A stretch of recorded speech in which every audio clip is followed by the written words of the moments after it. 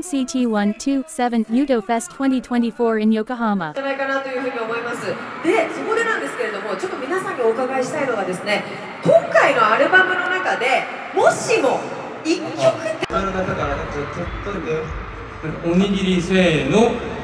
かかわいく撮ってよみんな。はい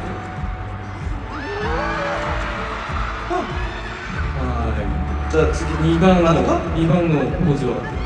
どんなありますか？よしよし。よし